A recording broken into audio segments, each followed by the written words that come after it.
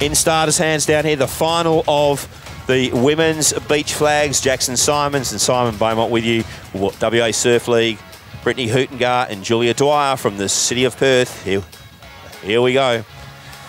All right, we're getting ready to go down. They go down, heads down, they up and about. Great start from Hootengar. She gets us, gets that left shoulder in front. A dive for the flag. Great work from the two girls from the city of Perth. Brittany Hootengar, too good on the day. The big cuddles, the camaraderie. So she wins the beach sprint. She wins the flags.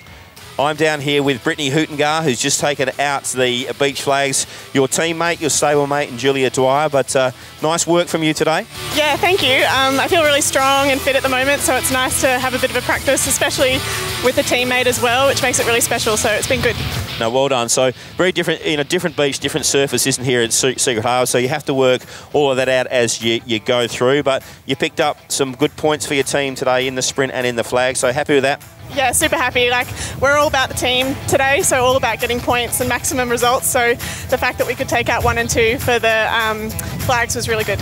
Abby Pode in there as well, the 14-year-old from Secret Harbour. She made it through for the final three, so uh, that's good. You'd, you'd like to see the, the girls come through, right? Yeah, it's really nice. It's nice to have um, new uh, competition, and especially the young ones keeping me on my toes. So it's it's very good to see her in there, and I uh, think she'll not surprises, but she'll do some good things in the future. Well done today. Two two titles for you and for the City of Perth. Well done. Thank you.